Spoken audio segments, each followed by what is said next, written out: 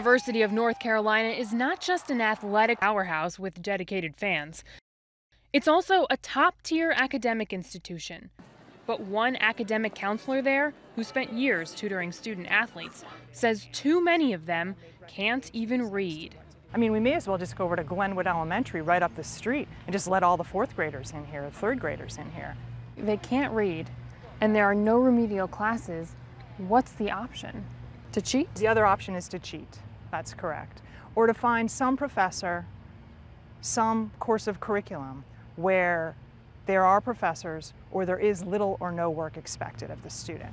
Mary Willingham says there are athletes who come to the University of North Carolina who are reading at a third and fourth grade level.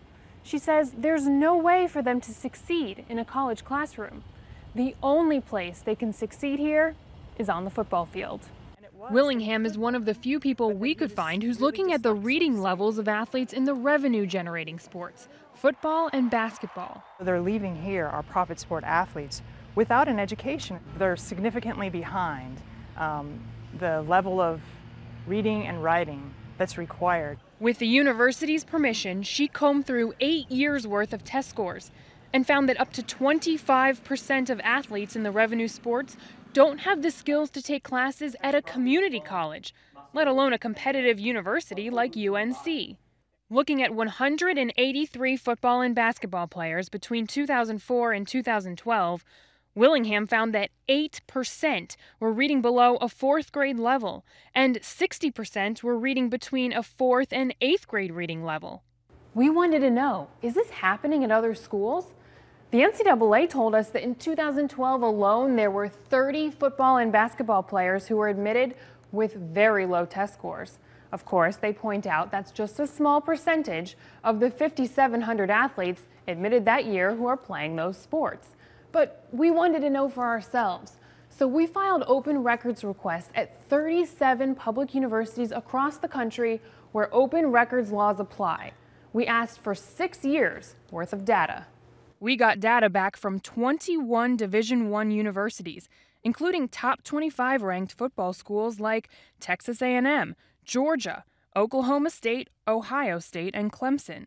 The results were startling. Most schools had between 7 and 18 percent of football and basketball players scoring so low on the reading portion of their exams, experts told us they would only be reading at an elementary level. That's an ACT score of 16 or less, or below a 400 on the reading portion of the SAT. But many of the universities had different explanations for low test scores, like Texas, which said some athletes don't try very hard aiming only to become NCAA eligible. Or Washington, which pointed out low scores may indicate learning disabilities. And Louisville, which said entrance exams are just one factor considered when admitting a student athlete. You can read their full responses on CNN.com. Not every school we asked would give us information.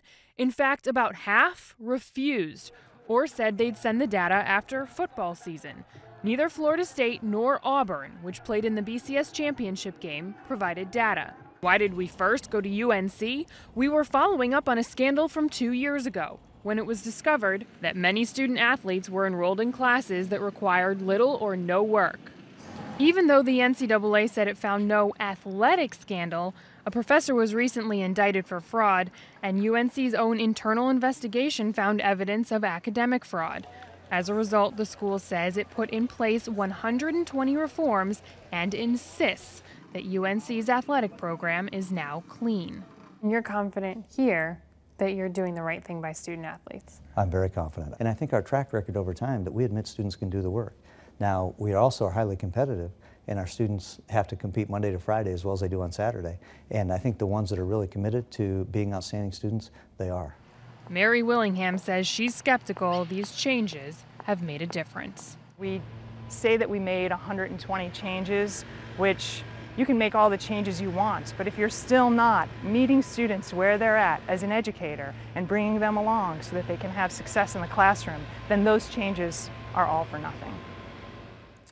Now, CNN also talked to about a dozen professors and advisors at multiple universities, and they echo what Mary Willingham found. The universities argue they're satisfied with their overall graduation rates, but the question, of course, is how do they graduate these athletes if these athletes can't read?